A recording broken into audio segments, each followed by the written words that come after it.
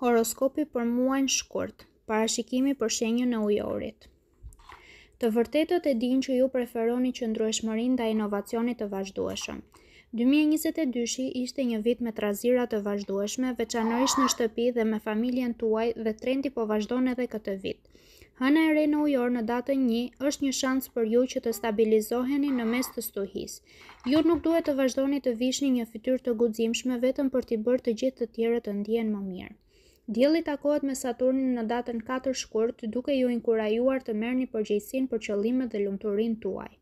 Në datën katërmbëdhjetë mërkuri rihyn në shenjën tuaj duke ju dhënë shumë për të folur në takimet e para të pakëndshme, takimet në Zoom dhe takimet e vonuara me miq në gjysmën e dytë të muajit. Horoskopi i dashurisë.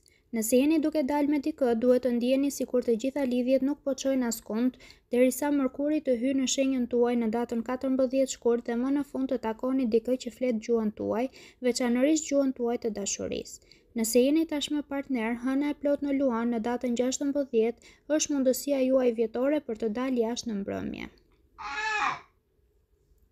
Horoskopi i parave. Një mundësi për të fituar më shumë para vjen nga askund në datën 4. Kjo ofertë duket shumë e mirë për të qenë e vërtetë dhe thjesht mund të jetë, prandaj sigurohuni që të merrni të gjitha detajet përpara se të bëni ndonjë marrëveshje. Bollëku vjen lehtësisht kur i beson burimit.